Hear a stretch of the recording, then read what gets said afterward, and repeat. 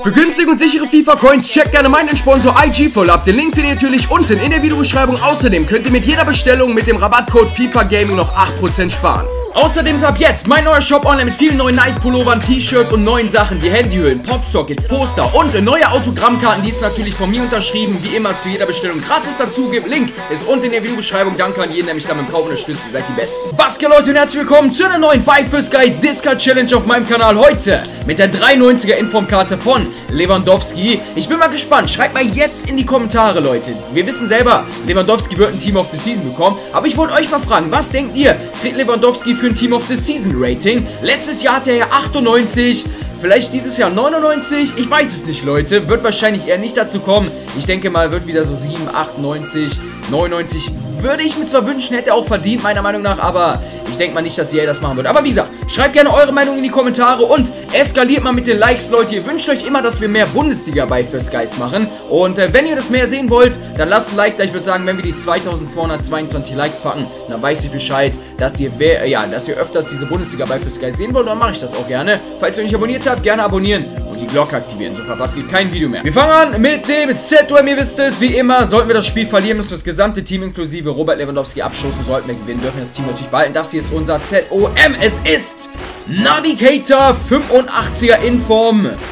Ja, geht klar, mal Müller wäre noch gewesen, natürlich auch nicht schlecht. Oregie als Path to Glory. Alter, hier wäre fast nur Cater gewesen, aber Boah, James wäre nice als 88er oder als 87er.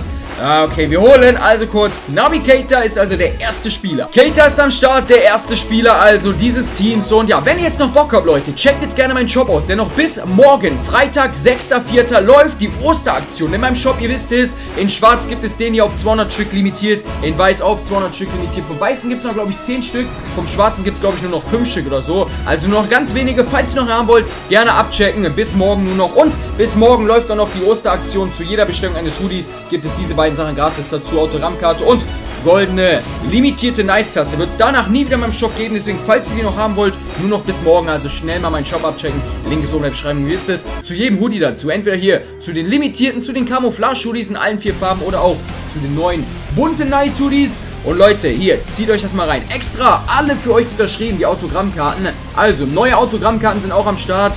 Also, wie gesagt, Link ist oben in der Beschreibung. Okay, weiter geht es. Ich würde sagen, wir fangen an mit dem ersten Innenverteidiger. Let's go. Das hier ist oh, Marc Batra, Halloween Cards. Ist er jetzt wieder gewechselt zu Betis Sevilla, glaube ich. Schade eigentlich. Fand, war eigentlich ein guter Verteidiger, muss man sagen. Aber mal gucken. Halloween Card kostet 45. Nehmen wir mit. Heftige Karte eigentlich. Ist natürlich jetzt körperlich nicht gerade der stärkste und halt auch nicht der größte. Obwohl 1,84 geht ja sogar eigentlich. Also eigentlich eine ganz, echt eine ganz, ganz krasse Karte. Wir machen äh, Linksverteidiger. Das Ding ist, mittlerweile gibt es ja Alaba. Gibt es noch einen? Ich weiß gerade nicht. Alaba, glaube ich nur, ne? Weil damals, wir haben, keine Ahnung, das letzte Bundesliga bei für Sky ist jetzt, glaube ich, auch schon bestimmt drei, vier Wochen her oder so. Äh, damals gab es keine Linksverteidiger in der Bundesliga. Jetzt gibt es also mindestens einen oder zwei. Stimmt, Plattenhardt gibt es ja noch. Ah ja, stimmt. Path to Glory Card von Plattenhardt. Boah, aber ey, der hat kranke Werte, muss ich schon ehrlich sagen. Hat er echt die ganze Saison, muss man ehrlich sein, nicht so mega gut gespielt. Aber jetzt dann doch seinen verdienten Inform bekommen. Und ja, wir holen aber Plattenhardt ins Team. So, da ist der Plattenhardt, ist am Start. Und wir kommen zum ersten Mittelfeldspieler. Wir suchen ein ZDM, ZOM und natürlich ein ZM. Wir fangen mal an mit dem ZDM. Arturo Vidal wäre natürlich nice. Ah, das wäre absolut perfekt. So, mein Verein natürlich nicht. Auf Transfermarkt. Let's go. Und das ist unser ZDM. Ich habe es gerade noch gesagt. Arturo Vidal wäre nice. Und er ist Arturo Vidal. Okay, das ist heftig. 88er Vidal in Form. Ist ja auch momentan, glaube ich, verletzt. Beziehungsweise im Champions League-Spiel hat er sich so leicht verletzt. Aber, glaube ich, nichts Schlimmes. Nice, Alter. Mal schauen. 300.000 kostet der. What the fuck, ey. Ist ja absolut, äh, absolut teuer hier. Vielleicht äh, 300... 53, Alter. Teure Investition. Aber gönnen wir uns. Zweiter Bayern-Spieler ist am Start. Arturo Vidal. Oh, nice, Mann. Okay, wir haben jetzt äh, Dortmund, wir haben äh, Berlin, wir haben Bayern und RB Leipzig am Start. Also vier verschiedene Vereine. Das geht klar. So, Torhüter würde ich sagen. Special Card, Transfermarkt, Birki und Horn sind, glaube ich, die highest rated. Neu hat ja leider kein Info bekommen. Hat ja auch nicht einmal gespielt. Oh, was habe ich gemacht? Oh, ich habe vergessen, Bundesliga zu suchen. Äh, das war natürlich nicht so optimal. Jetzt aber Bundesliga und es wird... Ah, ja, ja, Zieler. Ah, Ja, okay, Zieler war jetzt nicht der allerbeste, würde ich jetzt einfach mal sagen. Aber okay, wir nehmen Zieler mit. Und der nächste Verein, der fünfte Verein, ne? Dortmund, Hertha. Ja, fünfter. Der fünfte Verein aus der Bundesliga, also wenigstens ein bisschen Abwechslung ist hier am Start. Weiter geht es mit dem zentralen Mittelfeldspieler. Diesmal suchen wir den ZM, am Ende suchen wir dann noch den ZOM. Und das hier ist unser ZM. Batshuayi, what the fuck? Wer spielt Batshuayi? Verdammt nochmal als Mittelfeldspieler. What the fuck, Alter? Goretzka, Thiago wären ja noch gewesen. Das sind richtige Mittelfeldspieler, Junge. Goretzka, Path to Glory ist auch absolut krank, muss man sagen. Der hat fast alles auf 80, bis auf Schießen, Mann. Ein, ein, Schuss, äh, ein Schusspunkt fehlt da noch. Aber der kriegt eh ein Team of the Season. Und der Team of the Season wird richtig heftige Werte haben. Okay, wir haben Batshuayi. Habe ich eigentlich auf der Stürmerposition mit denen gerechnet? Aber naja, nehmen wir den ins Mittelfeld. Das sind halt die Regeln vom Buy First Guy.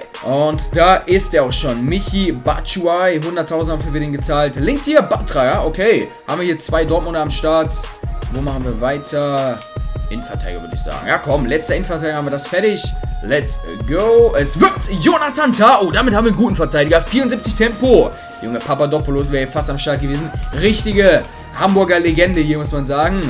Hinteregger, ja, Naldo wäre ganz nice gewesen. Ich hätte Naldo gerne gehabt. Der Naldo wird auch einen heftigen Team of the Season bekommen. Da freue ich mich schon richtig drauf. Aber ich habe Tar sogar im Verein. Ja, genau, da ist er. Jonathan Tar. Also damit haben wir eine stabile, richtig, richtig schnelle Verteidigung. 79 und 74. Also da kann, glaube ich, nicht so viel schief gehen. Okay, wir haben jetzt die ganze rechte Seite hier noch offen. Wenn man den Stürmer zuletzt, Leute, will ich mir noch aufheben. Wir kommen erstmal zum Rechtsverteidiger und das wird's. Meche, okay. Jorge Meche heißt der. Der Jorge, der ist ja eigentlich ein, oder Jorge, keine Ahnung, ist ja eigentlich ein Innenverteidiger sonst. Aber hat jetzt eine Special-Karte. Okay, 74 Tempo. Wäre der Innenverteidiger wäre nicht schlecht. Kimmich wäre hier gewesen. Wäre auch nicht viel, viel schneller. Aber die 87er wäre schon fresh gewesen, muss ich sagen. Okay, wir holen kurz Jorge Meche hier für 17.000. Und wir haben Köln-Spieler auch noch am Start. Also der siebte Verein. Oder sechste? Ne, wir haben den Leverkusen auch noch. Also der siebte, glaube ich. So, die letzten zwei Spieler. Wir suchen jetzt noch einen ZOM und dann natürlich vorne, ganz klare Sache, den Stürmer. Unser ZOM wird dieser Kollege. Es ist Müller. Oh, nicht schlecht. Okay, Müller ist nice.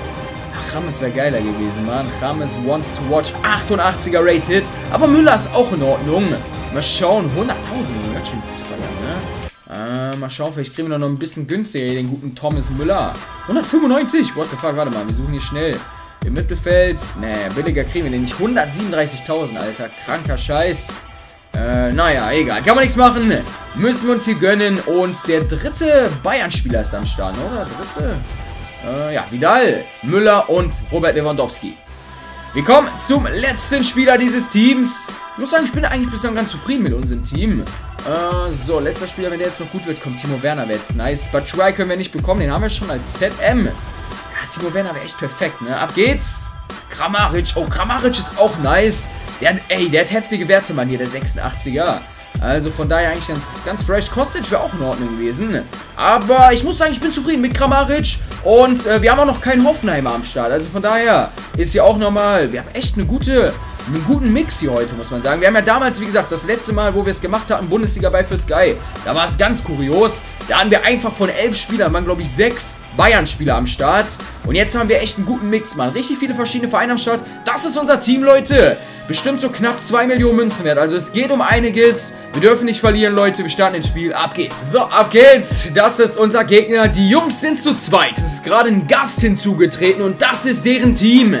Okay, volles Premier League Team. Ihr kennt es immer. Wie ich es immer sage, Leute. Entweder man ist zu zweit komplett heftig und man nimmt den anderen halt auseinander, weil man ja einen Spieler mehr hat sozusagen. Oder man ist halt komplett scheiße zu zweit. Das ist halt immer so, ich habe noch nie so einen mittelmäßigen Gegner gehabt, wenn die zu zweit waren. Ach komm jetzt, ich dachte schon, es bricht ab, Mann. Okay, ab geht's, Leute. Wird, glaube ich, interessant. Da geht's schon wieder los. Da geht's schon wieder los. Die Jungs haben komplett schlechtes Defensivspiel. Boah, was war das für ein Schuss, Alter. Der Pass von Kater war mega krank. Aber da hätte ich noch ein bisschen mehr einziehen müssen. Was machen die denn? Das ist euer Scheiß Ernst. Guck mal hier, wir sweaten den mal. Aber wir machen ihn jetzt nicht direkt, weil das wäre ein bisschen zu langweilig. Ja, da wollte ich zu viel. Leute, wie ich schon gesagt hatte, die Jungs... Ich will, auch, ich will jetzt zu viele Kombis rausspielen. Ich hätte schon einfach drei Tore machen können, ne? Aber das merkt man schon. Die Jungs sind wieder zu zweit. Und sind nicht gerade die Besten. Oh mein Gott. Oh, na. Das war kein Abseits. Ich schwöre, das war kein Abseits. Vidal war doch nicht im Abseits. Lewandowski vielleicht, aber doch nicht Vidal, oder? Hä, das müssen wir nochmal anschauen. Ich schwöre, Vidal ist doch reingelaufen. Der kann gar nicht im Abseits gewesen sein. Junge, was macht ihr denn, Jungs? Das kann doch nicht euer Ernst sein. Jetzt reicht's doch mal irgendwann. 1 zu 0, Mann. Kramaric, komm, Junge. Kramaric. Kramaric mit dem Lupfer. 2 zu 0. Schönes Ding, ey. Man muss genau, diese Lupfer sind eigentlich absolut heftig. In FIFA 18, man muss die halt nur im richtigen Moment perfekt getimed einsetzen. Dann sind die eigentlich nicht zu halten. In so Situationen ist das einfach perfekt, man. Wenn man hier genau, zack, im richtigen Moment, wo der Tor runtergeht, die sind unhaltbar, die Dinger, ey. Richtig nice. Kramaric Doppelpack. Lewandowski, zieh durch, Junge. Lewandowski muss natürlich auch noch ein Tor machen. Lewandowski muss auch noch ein Tor machen. Und das ist das 3 zu 0. Mal schauen, mal Start drücken für die Jungs. Vielleicht brechen sie ab. Komm, wir versuchen es mal einfach direkt, Mann. Das sind 29 Meter. Das ist eigentlich für Lewandowski. Fuck, war das? Was war das für ein Freistoß? Ich hab doch fast durchgedrückt. Der schießt ihn fast flach. Lewandowski. Lewandowski. Lupfer. Jawohl. Perfekt. 4 zu 0. Ich sag's euch, die Lupfer sind heftig. Wenn man die richtig einsetzt. Lewandowski kann sowas. Schönes Ding hier. Zack, einmal kurz angetippt und das war's dann, denke ich mal, auch hier. Das könnte ein Tor werden. Das ist ein Tor. 4 zu 1. Ehrentreffer. Sei den Jungs gegönnt, Mann. Ich feiere die Jungs, ey. Die sind korrekt drauf. Lewandowski, jawohl. Wir müssen jetzt hier nochmal... Ey, shit. Vom, vom Lever und da hinten ist doch Kramaric. Wie kann der vorbeiköpfen? Ey, das war drei Meter vom Tor, Mann. Ey, den kommt man gar nicht vorbeiköpfen. Einer geht noch rein. Einer geht noch, einer geht noch. Der, der hebt das Abseits auf. Der hebt das Abseits auf und Lewandowski mit dem 5 zu 1. Das war's dann jetzt, aber sein Spieler, die, die liegen da die ganze Zeit hinten am 16 äh, auf dem Boden, ey. Was war da los? Und das war's, Leute. Lewandowski mit drei Toren, Spieler des Spiels. Ich hoffe, es hat euch gefallen, Leute. Lasst ein Like da, lasst ein Abo und wie gesagt, schreibt in die Kommentare, was denkt ihr? Kriegt Lewandowski für ein Team of the Season Rating? Checkt jetzt noch, wie gesagt, gerne meinen Shop aus. Bis morgen, Freitag zum 6.4. läuft da die Osteraktion. Die limitierten Hoodies in schwarz auf 200 Stück, in weiß auf 200 Stück limitiert. Vom weißen gibt es noch 10 Stück, vom schwarzen noch 5 Stück oder irgendwie sowas. Also nur noch ganz wenige. Behaltet euch, falls ihr noch einen haben wollt. Und zu jeder Bestellung gibt es diese beiden Sachen auch noch gratis dazu. Autogrammkarte und goldene Nice-Tasse, die es nach dem 6.4. nie wieder geben wird. Deswegen, wenn ihr noch eine haben wollt, behaltet euch, seid schnell. Link ist oben in der Videobeschreibung. Wie gesagt, zu jedem Hoodie dazu. Entweder zu den limitierten, zu den Camouflage-Hoodies in allen vier Farben oder auch hier zu den neuen bunten Nice-Hoodies. Leute, ihr wisst Bescheid. Extra alle Autogrammkarten hier für euch unterschrieben. Also gerne abchecken. Macht's gut. Haut da rein. Bis morgen und ciao.